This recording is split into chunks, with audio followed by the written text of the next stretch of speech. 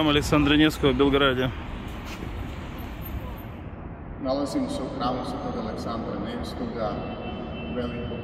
Я нахожусь в храме святого Александра Невского. Этот святой очень любим в сербском народе. Наш храм расположен в районе Белграда, который называется Дорчул. В переводе с турецкого это означает «перекресток». В 1876 году в Сербию прибыли 5000 российских добровольцев во главе с генералом Черняевым, чтобы помочь сербской армии и защитить наш народ. Русские воины привезли с собой походную церковь во имя святого Александра Невского.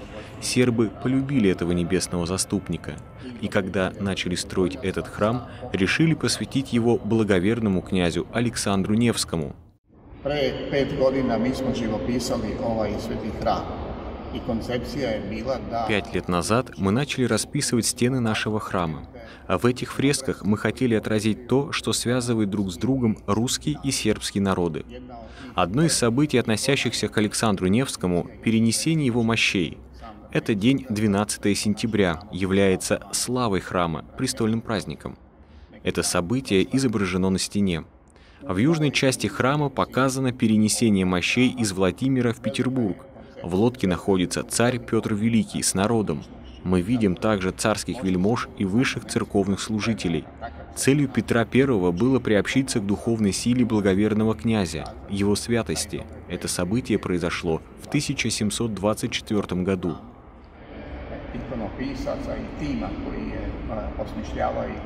Как я уже сказал, желанием наших иконописцев и тех, кто планировал росписи храма, было показать точки соприкосновения сербского и русского народов. Поэтому мы решили отразить и события Второй мировой войны. Мы знаем, что русский народ сильно пострадал, и сербский народ тоже. Здесь показаны события в концлагере Ясиновац, который находился в Хорватии, в так называемом независимом государстве хорватском, где пострадало более 700 тысяч сербов. Здесь нарисован концлагерь Ясиновац и чуть выше церковь, которая была там уничтожена. И река Сава, возле которой находился лагерь.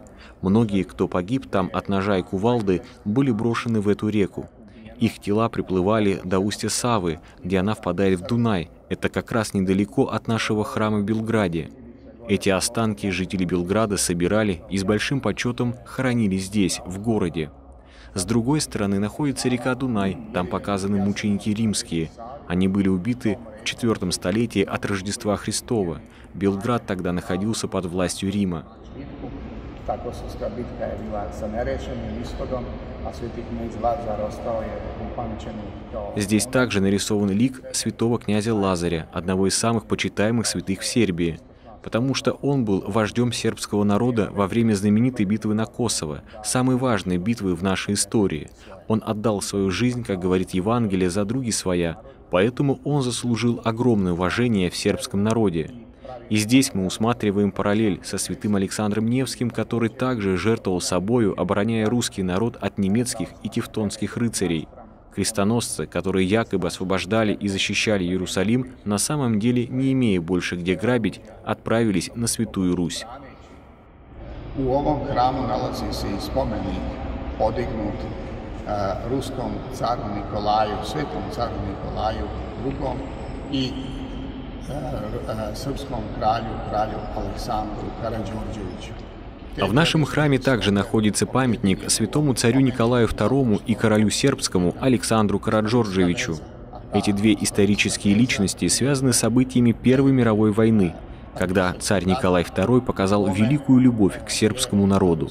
Сербская армия находилась в очень тяжелом положении, не было сил бороться, они отступали. И царь Николай сказал и англичанам, и французам, что если они не помогут сербам, Россия выйдет из союза с ними. И эта угроза сыграла большую роль. Ведь наши солдаты погибали кто от голода, кто от холода, кто от тяжелой дороги, потому что путь шел через горные местности Черногории и Албании, и все это происходило в зимнее время. После угрозы русского царя действительно англичане и французы помогли сербам, дали им питание, оружие, и сербская армия вернулась на Салунский фронт. Главным ударным кулаком на этом фронте стали сербы. Победа сербов на Салунском фронте послужила для общей победы союзников в Первой мировой войне. Слева находится плита, которую поставили в 1930 году в честь святого царя Николая II. А с правой стороны – посвящение королю Александру I Караджорджевичу и царю Николаю II. Это подарок пажеского корпуса из Петербурга, где учился сербский король Александр. Здесь изображены святые покровители царя Николая, святитель Николай и Александра Караджорджевича Александр Невский. započeto 1912. godine а Возведение этого храма началось в 1912 году, а закончено было в 1930 году. Так долго шло строительство, потому что были Балканские войны, потом Первая мировая война. Народ был нищим, не было средств, чтобы достроить храм. Но подключился сербский король Александр I Караджорджевич, и благодаря его помощи храм был построен. Поэтому у нас здесь особая любовь к династии Караджорджевичей – Считается, что в этом храме собираются люди правого толка, монархисты. Храм посещает много людей, интеллигенция, молодежь, а в воскресные дни бывает по 400-500 человек, а на праздники еще больше. У концепции да се направи русско-српска веза у Желание показать связь сербской и русской церковной истории воплотилось и на этих фресках. На этой стороне изображен святой Симеон Мироточивый, князь, который объединил сербские территории и сербский народ. И рядом его сын, святой Сава, благодаря которому сербская церковь получила автокефалию. С другой стороны, мы видим святого князя Владимира, крестителя Руси, равноапостольную Ольгу и благоверного князя Александра Невского.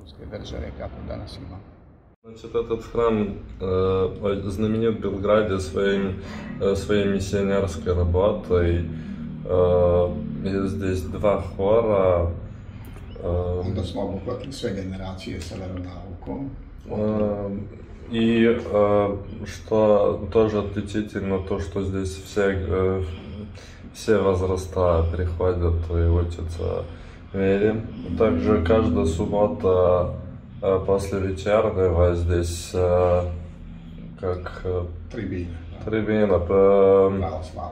Как уроки православия приходят разные э, профессора, священники и разговаривают на разные темы православные. А также здесь э, есть подготовительные уроки к крещению для тех, кто ну, уже в вере и хочет еще что-то узнать, или вообще для тех, кто ничего не знает для новых приходят группы от 20 до 30 человек. И так se to smenjuje stalno. Да, и каждый раз по другие группы. Да, Даже есть группа, которая ходит по больницам, по тюрьмам. Milosrdna sekcija. Да, милосrdna секция. Napuštenu decu. Детей без родителей Да. тоже. Razne ustanove gde je potrebna pomoć. И вообще, где, везде, где нужна помощь. Уже написано более 135 изданий книг. To je sve to otačka literatura uglavnom, mada ima i savremenih duhovnika i misionara. Да, а большинство свят, святоотеческая литература, но есть и современная литература. I hram je, zapravo mi sveštenstvo koji smo pri ovom hramu, smo uvek otvoreni za razgovore i ovde ljudi dolaze na razgovore. Э, Священники этого храма всегда открыты для разговора, для прихожан, и тоже этот храм знаменит тем, что люди здесь очень много приходят uvek поразговаривать uvek smo tu za njih. Да, я всегда здесь для людей. 2014. godine u kanonsku posetu В 2014 году в Сербию с визитом приехал святейший патриарх Кирилл. По просьбе нашего храма он привез частицу мощей святого Александра Невского, и во время службы в храме святого Савы он передал этот дар нашему патриарху Иринею, который впоследствии торжественно принес мощи в наш храм. Мы каждое воскресенье выносим этот ковчег в центр храма, чтобы все прихожане могли поклониться. И недавно, когда у нас была слава, престольный праздник, больше тысячи человек приложились к этим мощам. Мы и сейчас постоянно молимся у мощей святого Александра Невского, зная, что русскому народу нужна помощь, нужны наши молитвы. И мы знаем, что надо молиться благоверному князю Александру, потому что в своей жизни он не проиграл ни одной битвы, и его заступничество имеет очень важную роль.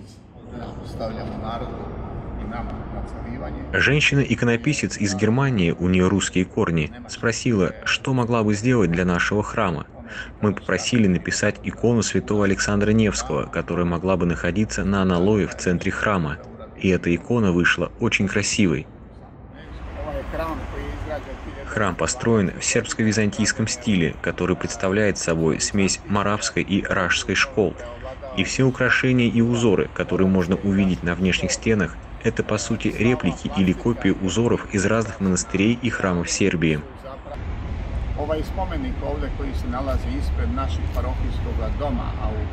Памятник благоверному князю Александру Невскому – это дар города Санкт-Петербурга Белграду в честь 800-летия со дня рождения святого Александра Невского. В его открытии участвовали губернатор Санкт-Петербурга и мэр Белграда, наместник Александра Невской лавры и епископ Назарий. Перед освящением памятника литургию в нашем храме совершил патриарх сербский Порфирий – этот памятник – современный пример любви и дружбы между Санкт-Петербургом и Белградом.